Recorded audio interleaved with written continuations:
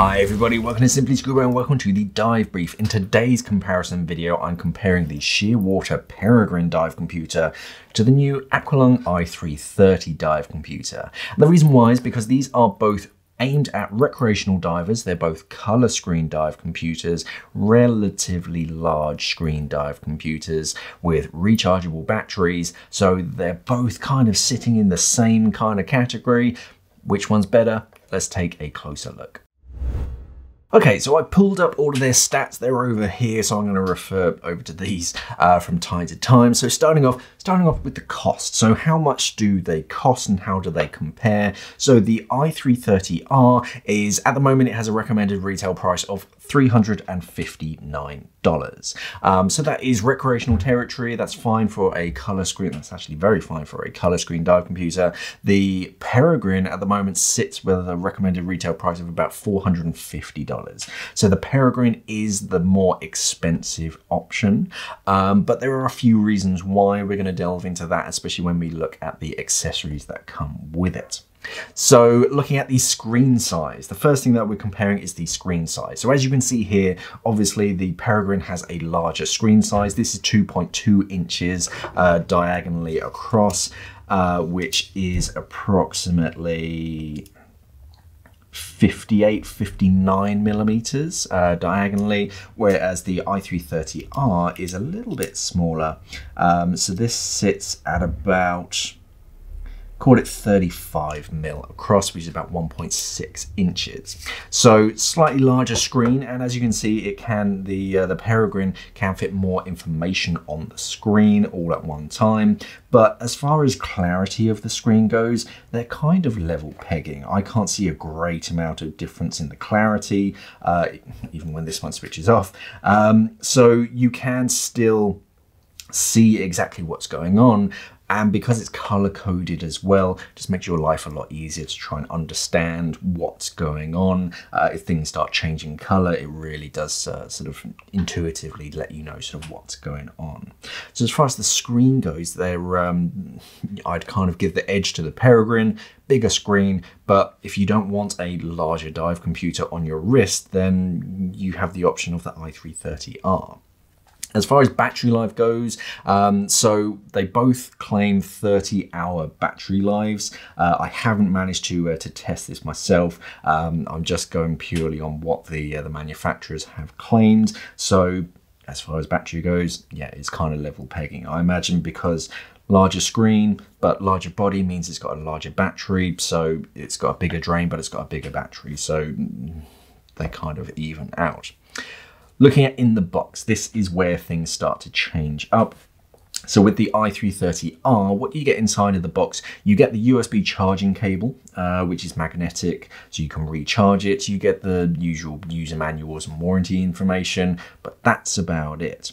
With the Peregrine, however, you get an actual uh, sort of reusable box, one of these uh, like EVA cases. On the inside of here, you have a few tools, some uh, sort of replacement bits and bobs. You get the charging it's sort of a cradle, it just sort of sits on top of it. You also get uh, a change of strap, so you can change it from a silicone strap to a bungee strap, uh, a screen protector, the uh, Aqualung, the i330R, the screen protector is already fitted, so uh, you don't have to fit it. Uh, this one is sort of optional, it's inside of the box, so you can fit it to the Peregrine if you want. Um, so I think that's one of the reasons why the Peregrine is a bit more expensive because you get a few more extras inside of the box.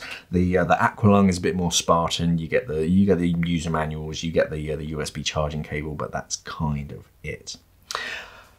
Look at more of the specs. So maximum depth between the two, the uh, the i330R has a maximum depth of 100 meters, which is deeper than I'm going to go, so that's fine. Uh, the Peregrine is 120 meters.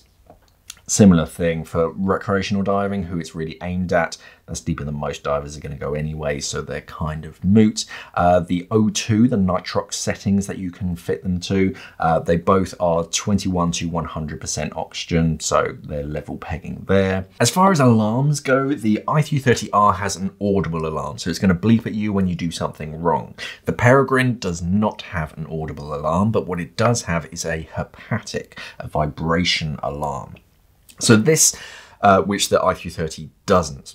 So this is a sort of a modern shift. Uh, if you've been diving a lot, you'll notice that, especially at key depths, you suddenly start to hear a, a chorus of beeps under the water from everybody's dive computers. So having a relatively silent alarm is quite nice. It means that I know that I'm not disturbing everybody uh, by just sort of checking on my dive computer. So I quite like that vibration alarm compared to an, an, audible beep because in the water with sound traveling, you're not entirely sure if it's your dive computer or whether you're just sort of hearing your buddy's dive computer. Whereas if something's vibrating on your wrist, you know it's your dive computer trying to get your attention.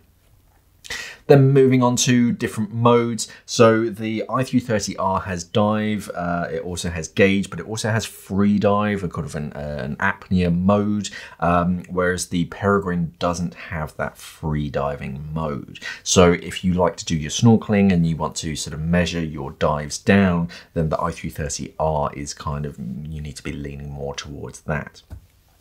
As far as logbook goes, the i330R, so that's logging up to 24 dives, uh, whereas the Shearwater Peregrine is measuring it in 20, uh, sorry, 200 hours of dive time. So it has a bigger memory, um, whereas the, the i330R just does it per dives. 24 dives is quite a good week's worth of diving if you're going on a liveaboard, Um, but 200 hours, that's quite a lot of dives. And then all that happens is that once it reaches memory full, it just starts to overwrite the uh, the previous or the, the oldest dive. So all you have to do is just download it anyway. Downloading your dives from both of these dive computers is very easy. They both have Bluetooth built into them. They both have apps. With the Aqualung, you have the Diverlog Plus app, which is very easy to use. You can actually change the settings on the dive computer from your phone or tablet. So that's often actually quite easier to do than doing it through the menu structure itself. You just do it on the app and then hit sync and that updates everything. But you can also download your logged dives onto your smartphone and then share share them as well. Shearwater has the Shearwater Cloud app, which again is very user friendly, pretty easy to get used to. You can download the dives and then you can analyze all the information. Heading back to displays, as much as they look very similar, they're technically different. The Peregrine is a classic LCD display, uh, liquid crystal display, whereas the uh, the display on the i330R is an IPS, which is a slightly newer version, um, but from a layperson's perspective, there's not a huge amount of difference. I think technically you can see it at slightly greater angles, um, but for most people, you're not going to notice too much of a difference. Wireless air integration, neither of these have wireless air integration. Um, there are some sections on the, uh, the Aqualung website um, which claim that it does. Unfortunately, I've confirmed with Aqualung that it does not. Uh, the Shearwater has never claimed to be, um, so neither of them do wireless air integration.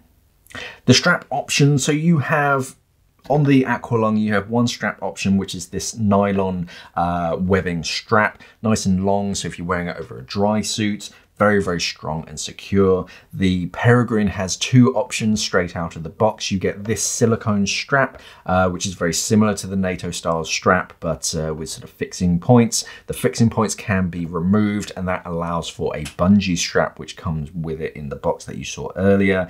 Um, Personally, I like a bungee strap because it just adjusts for the compression of my wetsuit or dry suit. Um, but I am a fan of the classic NATO strap because they're very, very strong and reliable.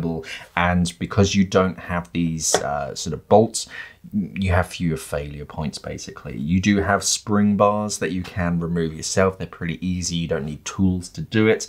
So you can replace that strap personally i kind of like that uh, that the peregrine gives you that choice of bungee strap um, but i'd be perfectly happy using the nato style strap as well Neither of them come with a compass, uh, a built-in digital compass or an analog compass that you can see. Um, so yeah, you need an analog compass, but for most recreational blue water dives, as long as you can see where you're going, then not having a compass or at least strapping a compass next to it shouldn't be too much of a big deal. Okay, so which one is better, the i330R or the Peregrine? Well, full honesty, I still haven't decided because they both tick all of the boxes that I could uh, possibly want for a recreational dive computer. They're both really easy to use. They both have their sort of features. Sure, the Aqualung is about $100 cheaper, but in the the extras that you get with the the peregrine like the the haptic that vibration feature and the, the, the case that it comes in they are just that little bit nicer is it worth that extra hundred dollars i don't really know to be honest because for most divers, the i330R is all you're ever going to want or need. Uh, as far as an upgrade, yeah, the vibration feature is nice. Sure, the sort of the different mounting options for the uh, for the Peregrine is quite nice. Um, but for for most scuba divers, for most recreational divers, it's not particularly necessary. It's one of those things. It's nice if you have that extra hundred dollars and you want to go for something that I feel is just a little bit nicer. Uh, as far as the finish goes, um, there's a bit more flair and style on the Peregrine. You've got these blue details, whereas the Aqualung is a bit simpler. Um, it's it's not that it's an ugly dive computer or anything. It's very simple. It's nice and smooth. Um, as far as like the depth of the dive computer, they're actually pretty much exactly the same. I measured it earlier and that is about exactly the same as the thickness of this section. So there's very little in it to compare them and specifically say, well, this one's obviously much better. Um, which one would I personally go for? Money was no object. I'd go down the Shearwater route uh, just because you've got that larger screen that can have a bit more information on it all at the same time. But there's no reason why I wouldn't dive with the i330R. It's it ticks all of the boxes and it has everything that I'd need as a recreational diver.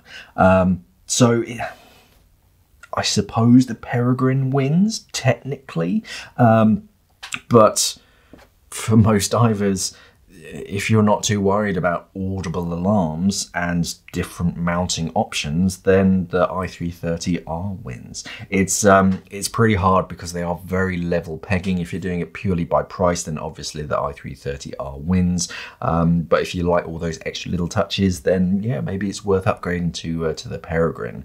It's it's tricky. I'm kind of going to leave it up to you guys um, because for me, there's there's not enough to specifically say yes you should go down this route uh, you should go for that dive computer because they are pretty similar. Um, let us know down in the comments below. I mean, is that $100? Is it worth upgrading to the Shearwater in your view? Uh, let us know down in the comments below. i330R is pretty new. It's been around for a little while in different areas, uh, but it's kind of, it's just hit this uh, this zone and yeah, it's a smart little dive computer. Let us know down in the comments below. Thank you for watching. There's going to be more information about these uh, these computers on our website, uh, and you can check these out. They're available on simplyscuba.com. There's going to be links down in the description below. Thank you for watching, and of course, safe diving.